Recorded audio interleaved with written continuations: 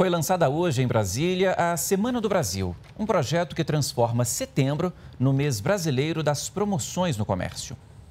10 dias de descontos nos preços e condições diferenciadas de pagamento. Tudo para atrair o consumidor e fazer girar a economia em um mês considerado mais fraco para o comércio. A Semana do Brasil será um evento dos moldes da já conhecida Black Friday, a sexta-feira de novembro que movimenta o país em torno das promoções. A iniciativa foi proposta pelo governo e faz parte das comemorações do Dia da Independência. É um momento que nós estamos nos reencontrando com as cores da nossa bandeira e com o seu lema ordem e progresso.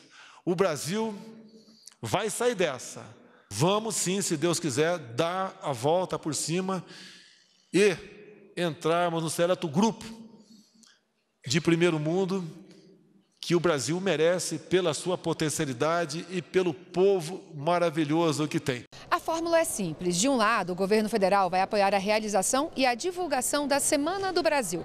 Do outro, a iniciativa privada aproveita o momento para estimular o mercado e atrair consumidores. Até agora, mais de 4.600 empresas e entidades confirmaram participação.